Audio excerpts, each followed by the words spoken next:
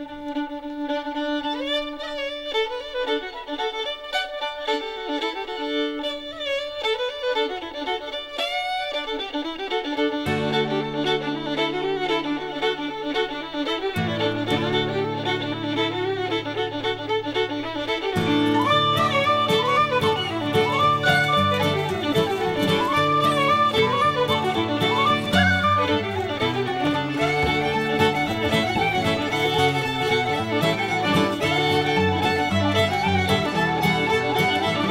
well, this, uh, what we're picking now is Cabernet Sauvignon and the track east is what we call it. This whole block is a uh, track Cabernet and we split it up into three different pieces and we're doing the eastern part.